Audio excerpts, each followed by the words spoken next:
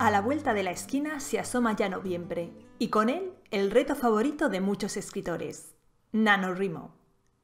NaNoWriMo es el acrónimo de National Novel Writing Month, un reto de escritura que se desarrolla todos los años en el mes de noviembre. Durante ese tiempo, los participantes asumen el desafío de escribir 50.000 palabras de una novela. Ya hago yo el cálculo por ti. Son 1.667 palabras por día. Soy Natalia Martínez, profesora de novela en sinjania.com. En Sinjania llevamos más de 10 años formando autores. Por eso no puedes perderte nuestro blog en el que ya hemos publicado más de 600 artículos en los que encontrarás ideas útiles que te ayuden a escribir mejor, tener una carrera de autor próspera y vender más libros. El blog es nuestro canal principal y allí publicamos un nuevo artículo todas las semanas. Pásate para descubrirlo. Como ves, en realidad superar NaNoWriMo se acerca mucho a un reto de productividad. Y en ese sentido, participar en el desafío puede ayudarte a crear el hábito de la escritura o a incrementar las cuotas diarias de palabras que alcanzas cada día. Pero además, NaNoWriMo puede ser un impulso definitivo para que tu novela se haga realidad. ¿Por qué participar en NaNoWriMo? Porque NaNoWriMo es un desafío ideal para los procrastinadores natos. Si eres de los que siempre dejan para otro día el momento de ponerse a escribir, enfrentarte al reto de escribir 50.000 palabras en tan solo 30 días puede ser una poderosa motivación. Por un lado, competirás contigo mismo, pero también tendrás el acicate de saber que miles de personas están haciendo lo mismo que tú y el deseo de no quedarte atrás te espoleará. Si ya estás trabajando en tu novela, pero no avanzas al ritmo que quisieras, o simplemente te apetece darle un buen empujón que abrevie el momento de tener la obra finalizada y lista para publicar, superar a NoRimo también es una buena opción. 50.000 palabras son muchas palabras. No tienen por qué ser la novela entera, y lo más seguro es que una parte importante de ellas tengan que ser eliminadas o reescritas, pero representan una buena porción del trabajo de escritura que, si te pones empeño, puedes hacer en tan solo un mes. Tentador, ¿verdad? Además, superar NaNoWriMo es también una excelente prueba para los ultraperfeccionistas o los que le dais demasiadas vueltas antes de empezar cualquier proyecto. No me malinterpretes, ya sabes que soy defensora acérrima del trabajo previo y de tomarse el tiempo preciso para hacer las cosas lo mejor posible. Pero alargar ese tiempo demasiado no tiene sentido. Eternizarte en la fase de planificación no hará mejor tu novela. Lo que hará mejor tu novela es saber lo que tienes que hacer y tomar las mejores decisiones para ensamblar bien la historia que quieres contar. Participar en el desafío que proponen NaNoWriMo es una manera de lanzarse a la piscina y empezar el trabajo ya. Puede que lo que escribas no sea perfecto, pero para eso está la fase de revisión. Si cada vez estás más animado a participar en el reto, tengo unos consejos para ayudarte a cumplir ese objetivo. Puede que ya tengas una historia rondándote o puede que tengas que elegir una para lanzarte a escribir durante NaNoWriMo. En ambos casos, mi primer consejo es que te asegures de que esa idea cumple dos requisitos. Que es una historia con la entidad suficiente como para poder convertirla en 50.000 palabras. Si tienes una historia floja, sin un buen conflicto, si es insustancial o trivial, sencillamente vas a tener dificultades para cumplir con tu cuota de escritura cada día sin tener que meter relleno de ese que hace bostezar al lector. También debes asegurarte que esa historia te apasiona. Vas a pasar 30 días de inmersión intensiva en tu historia. Si no te gusta de verdad, si no piensas que has nacido para escribirla, superarla en el ritmo puede hacérsete muy cuesta arriba. Mi segundo consejo es que crees una estructura previa. A la hora de escribir ayuda mucho, por no decir que es imprescindible, tener un plan previo que te permita ir como sobre raíles, dedicándote tan solo a elegir la palabra justa. Si decides repetir la experiencia de NaNoWriMo durante el año próximo, te recomiendo que empieces pronto a hacer este trabajo preliminar. Pero para que este año puedas lanzarte al ruedo, haz esta preparación previa. Resume tu argumento en no más de dos o tres frases.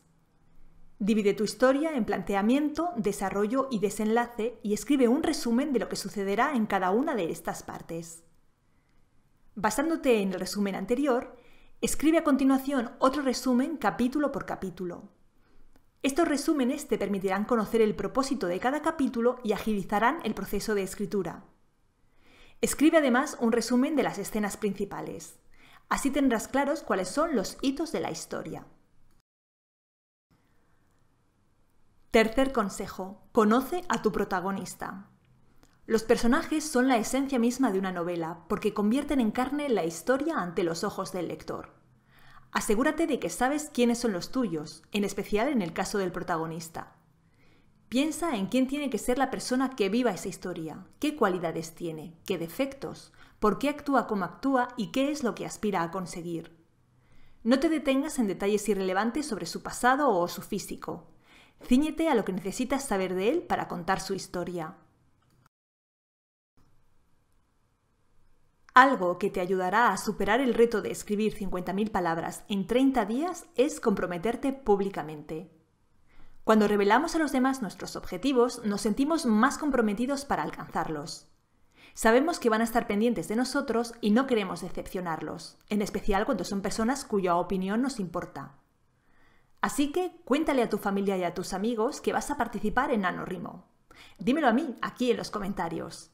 Anúncialo también en tu blog de escritor y usa las redes sociales para publicar tus progresos diarios. Si todavía no la tienes, participar en NaNoWriMo es el momento ideal para crear tu rutina de escritura. Planifica tu mes de noviembre y resérvate el tiempo necesario cada día para cumplir la cuota de 1667 palabras. Crea un horario como el que usábamos en el colegio y sé escrupuloso con su cumplimiento. Lo ideal es que el tiempo que dediques a escribir sea siempre a la misma hora e incluso en el mismo lugar, aunque si te resulta imposible puedes organizarte como mejor te venga. Pero organízate. No confíes en que vas a encontrar tiempo si no has planificado tus días previamente. La improvisación puede funcionar un día, pero es muy difícil que funcione 30. En otro episodio te he hablado ya de cómo crear una rutina de escritura con ideas 100% prácticas. Si a pesar de la planificación y de toda tu voluntad te pierdes un día de escritura, no te regañes ni te sientas mal. No pasa nada si un día fallas. No alcanzar la meta un día, o incluso no cruzar siquiera la línea de salida, no da el traste con tus posibilidades de superar NaNoWriMo. No te vengas abajo y lo des todo por perdido. Si lo haces, eh, corres el riesgo de volver a fallar al día siguiente y acabar abandonando ante la imposibilidad de ponerte al día. Así que calcula las palabras que no has escrito en ese malhadado día, aunque sean las 1667, y trata de recuperarlas en los días siguientes. Por cierto, no te preocupes si no escribes suficientes palabras los primeros días. En cuanto te adentres en la historia, los jugos creativos comenzarán a fluir. Un consejo importante, y vamos por el séptimo. No releas ni corrijas. No te detengas a leer lo que ya has escrito. Tampoco te pares a corregir ni reescribir. Así es como muere el impulso. Sigue adelante sin mirar atrás. Si caes en la tentación de volver sobre lo que ya has escrito, estarás perdiendo el tiempo, ese precioso tiempo que necesitas para añadir una página más, una palabra más. Puede que tengas la sensación de que lo que estás escribiendo es una porquería, que hay lagunas, escenas mal trabajadas y frases incomprensibles. No importa. Cuando acabe noviembre y superes NaNoWriMo, será el momento de revisar, reescribir, pulir y dar esplendor. Entonces tendrás todo el tiempo del mundo para convertir ese montón de palabras en una novela magistral. También es muy importante que tengas claro que 50.000 palabras no son una novela. De hecho, pueden no ser ni siquiera un primer borrador. Queda claro que cuando acaben NaNoWriMo tendrás que revisar, reescribir y corregir. Pero a lo mejor antes de emprender esas tareas tienes que acabar de escribir el primer borrador, porque 50.000 palabras se te han quedado cortas y no te ha dado tiempo de desarrollar el argumento por completo. Te prometo otro episodio en el que te contaré cómo seguir trabajando sobre tu texto una vez que NaNoWriMo finalice. Por último, recuerda que en NaNoWriMo siempre se gana. Si llegas al 30 de noviembre habiendo escrito todos los días, habrás ganado. Si logras llegar a las 50.000 palabras, tu satisfacción será inmensa. Pero incluso si no alcanzas esa cantidad, serás un ganador igual. Porque tendrás un núcleo importante sobre el que seguir trabajando y estarás mucho más cerca de terminar tu novela. Tu trama habrá tomado forma. conocerás mejor a tus personajes, sabrás más sobre ti mismo como escritor y tu hábito de escritura habrá salido fortalecido. Todos son ventajas.